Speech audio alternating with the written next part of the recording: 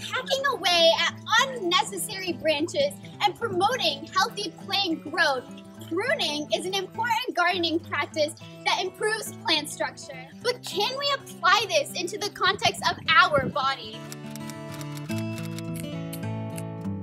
Well, our journey begins at the very top of our body, in the most complex organ, the brain. In the brain, neurons communicate with each other through the passage of electrical or chemical signals. This transmission of signals between neurons occurs through synapses. But first off, let's answer the questions that we all want to know. How are synapses like my tree? In order to answer that question, let's start from the beginning. During infancy, a process called synaptogenesis begins, in which there's a rapid increase in the number of synapse formations between neurons. This period during synaptogenesis is vital for memory formation and learning. The explosion of synapse formation continues till it reaches a peak at about the age of two or three. From that point onwards, the brain begins the process of synaptic pruning that can last until around the age of 16. But how does synaptic pruning work? Well, it follows the principle of use it or lose it. In other words, as the synapse is used more, it's strengthened. But if it's not used and receives less activity, then it becomes weak until it is eventually pruned. Think of it like a hypothetical city layout. As the city is still developing, many roads are built throughout the city. After a few weeks, the city has roads everywhere, but this is not an effective city layout.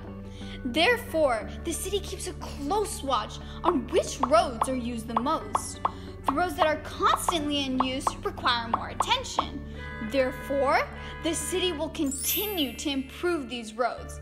However, the roads that are rarely used will not be given as much attention, and as a result, they'll be in worse condition. Eventually, if no one uses the roads, the city will remove these roads to make space for other buildings. Now that we understand how it works, it's important to know that synaptic pruning depends on two things. In the early stages of synaptic pruning, the process is mostly influenced by the person's genes, in particular, the C4 gene.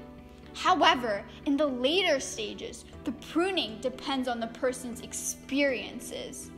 Constant stimulation can help develop and permanently form certain synapses. Synaptic pruning occurs at different times depending on the region of the brain.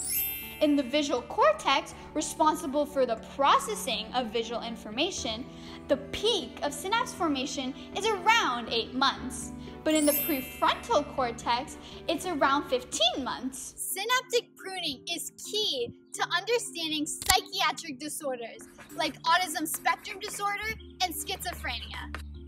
Autism patients are known to have excess synapses caused by underpruning, while schizophrenia patients have fewer synapses caused by overpruning. The symptoms of autism can help highlight this correlation. Common symptoms of autism include oversensitivity to lights and noise, and epileptic seizures that could be attributed to the overload of synapses firing at once due to a lack of pruning. Overall, synaptic pruning has helped further the idea of brain plasticity. Wait, does that our brain is made out of plastic? Definitely not. It's the idea that our brain has the ability to adapt in response to experiences and change throughout our lives. But why does it matter? Well, scientists can now understand the way that our brain remains effective even as we age. Scientists can develop new, promising treatments for schizophrenia and autism by targeting synaptic pruning. And now, we can finally answer our question. How are synapses like my tree? They both need to be pruned to remain healthy.